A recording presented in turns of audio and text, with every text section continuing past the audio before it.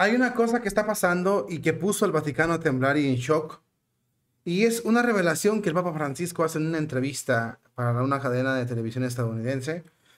La verdad esto nos deja todos helados, helados y perplejos. Y nos hacemos una pregunta muy importante. Y eso se lo hacen muchos medios incluso de comunicación. ¿O el Papa ah, está perdiendo la memoria? ¿O sus compañeros o los que lo asesoran o sus, los que están con él están jugando una mala jugada o una traición terrible. Sobre todo para llevarlo a que se contradiga públicamente con lo que dice y con lo que hace. Esto ha dejado paralizado al Vaticano y lo vamos a ver a continuación.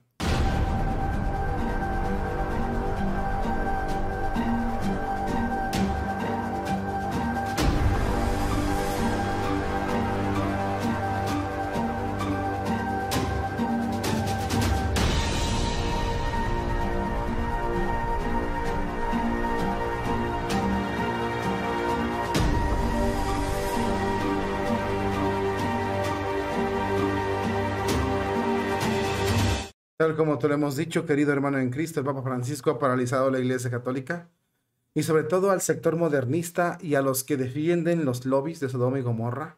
Les ha dado un, les ha dado un reversazo terrible y no sabemos qué está pasando y la gente está inquieta, la cosa está fea y quieren saber qué está pasando o el Papa está perdiendo la mente o será que los que le llevan los documentos a firmar le están jugando una mala pasada. Vamos a verlo a continuación. Fíjate, vamos a leer lo que pasó en esta entrevista que es muy importante y fíjate lo que está pasando el día de hoy. Eh, veníamos alertando machacadamente desde que en diciembre se publicó la declaración Fiducia Supplicans de la confusión y el caos que iba a traer ese documento en la Iglesia Católica.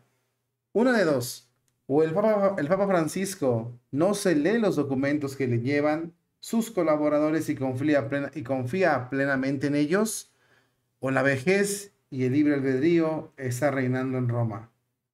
El Papa, el Papa Francisco se acaba de pronunciar en una entrevista para una cadena de televisión estadounidense sobre el polémico documento Fiducia Supplicans, con el que el Vaticano dio luz verde a la bendición de parejas irregulares del mismo sexo.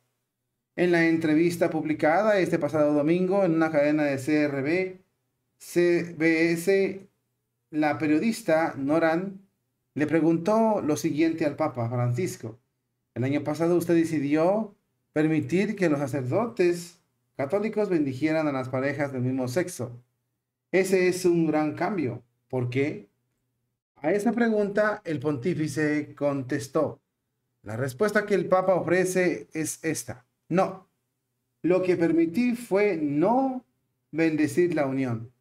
Esto no se puede hacer porque ese no es el sacramento. No puedo.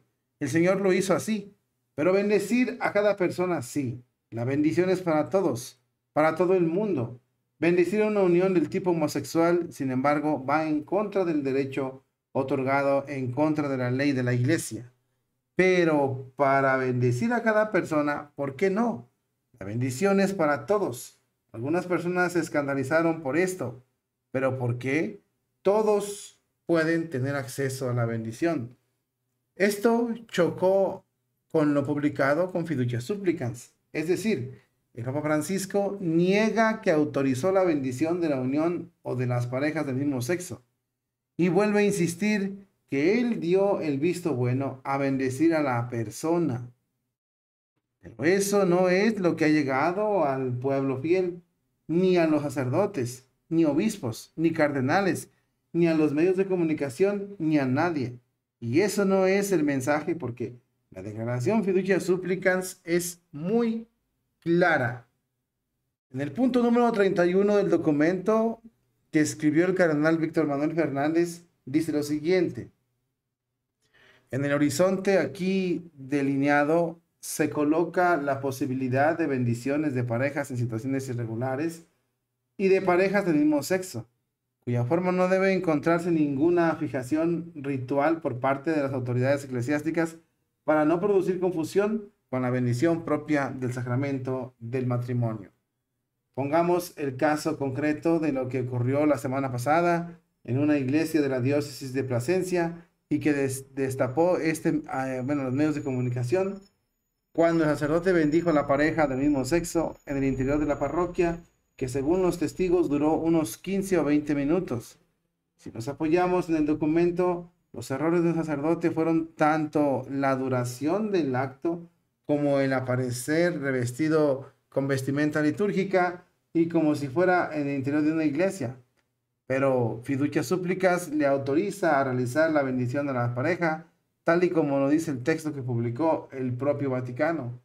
Pero según las últimas palabras del pontífice Francisco, eso es un escándalo porque bendecir una unión del tipo homosexual, sin embargo, va en contra del derecho otorgado, en contra de la ley y la iglesia, que es tal y como ocurrió en esta parroquia extremeña y que es lo que está ocurriendo a lo largo y ancho de todo el orbe católico. Por mucho que Francisco trate ahora de convencer que eso no es lo que quiso aprobar, todo el mundo entendió tras la lectura de la declaración de la doctrina de la fe que la opción de bendecir a parejas ahora es posible con fiducias súplicas.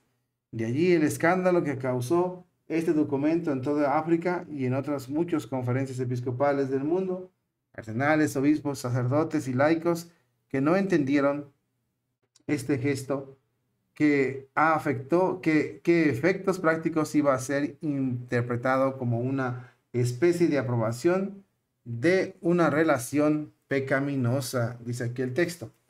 Como muchas veces ha repetido el cesado obispo Strickland, la iglesia debe velar por la custodiar el depósito de la fe y ha de afanarse por lograr la salvación de las almas, labor primordial que tiene la iglesia, sino para que la fundó Jesucristo, sino es para que a través de ellos todos los hombres sean, se salven y lleguen al conocimiento de la verdad.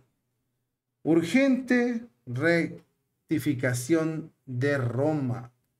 En medio de este caos y confusión que tanto daño y perplejidad está causando entre los más pequeños, el Papa Francisco debe ordenar bien que se modifique y corrija públicamente la declaración fiducia supplicans o retirarla para siempre. nada sirve que el Papa corrija el texto de entrevista en entrevistas y que hay una reforma oficial por parte del Vaticano. De lo contrario, se entenderá que tal y como dijo Poncio Pilatos, escritum, escritum est. Urge, por tanto, una pronta rectificación, ya sea mutuo propio por parte de Francisco o por parte del autor de la declaración Fiducia Supplicans, el cardenal Víctor Manuel Fernández, para poner fin a este despropósito que amenaza con resquebrajar la unidad dentro de la iglesia y para que cesen las bendiciones a parejas o uniones homosexuales bajo el pretexto de que ahora la iglesia católica lo permite. Tremendo escándalo y teníamos que decirlo y lo estamos diciendo. El Papa dice algo muy importante, dice, no autoricé la bendición. Solo bendecir a cada persona, pero eso qué chiste tiene. Todas las personas tienen derecho a la bendición. Vaya usted a misa y encuentra ahí la bendición. Cuando el Padre dice, el Señor está con ustedes y la bendición de Dios Padre, Dios Hijo, Dios Espíritu Santo los acompaña siempre. ¿Eso qué chiste tiene? Todos los, los sacerdotes eh, desde siempre lo han hecho. Eso no tiene nada de, nada de ciencia. La pregunta es clara.